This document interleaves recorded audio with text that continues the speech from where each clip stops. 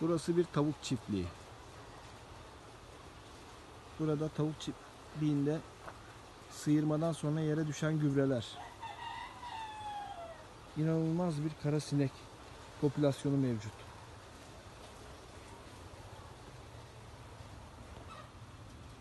Bunlar da kara sinek larvaları.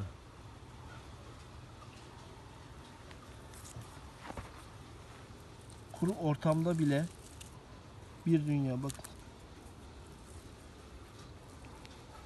Resmen toprak oynuyor.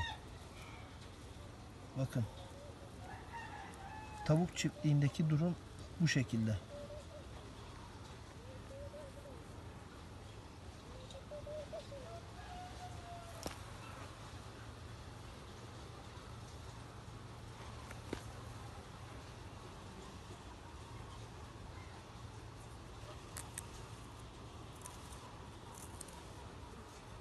Kuru ortamda bile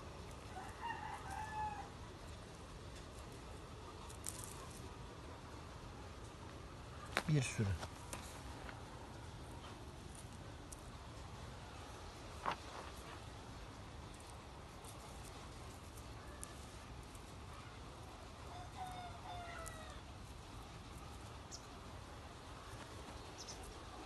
Evet.